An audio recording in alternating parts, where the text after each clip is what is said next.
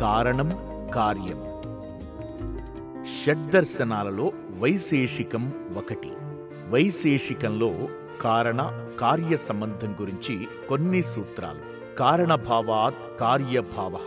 కారణం ఉన్నప్పుడే కార్యం సంభవిస్తుంది. కారణ గుణపూర్వక కార్యగుణో దృష్టి. కారణంలో ఎటువంటి గుణాలు ఉంటాయో కార్యంలో కూడా అటువంటి గుణాలే ఉంటాయి. కారణాభావత్ కార్యాభావ. కారణం లేకపోతే కార్యం ఉండదు. నతు కార్యాభావాత్ కారణాభావ.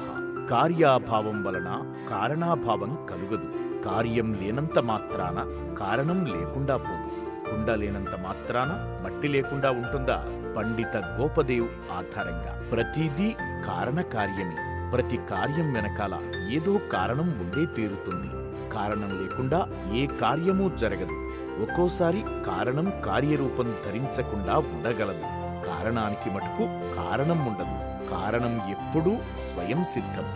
కారణ కార్య సంబంధం గురించి తెలుసుకోవడమే కర్మ సిద్ధాంతం గురించి తెలుసుకోవడం అంటే.